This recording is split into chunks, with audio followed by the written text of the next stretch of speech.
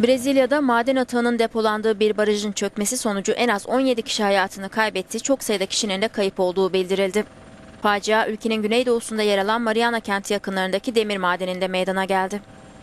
Madenin atık barajı henüz bilinmeyen bir nedenden dolayı çöktü. Barajın yakınındaki bir kasaba su ve çamur altında kaldı.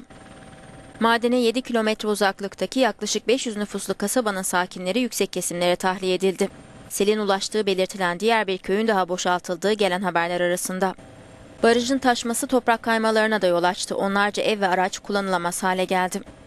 Atık suyunun yakınlardaki nehre ulaşıp nehir suyunu zehirlemesinden endişe ediliyor. Madenin işletmecileri, afetzedelerin kurtarılmasının öncelikleri olduğunu ve doğanın en az seviyede zarar görmesi için çalıştıklarını duyurdu.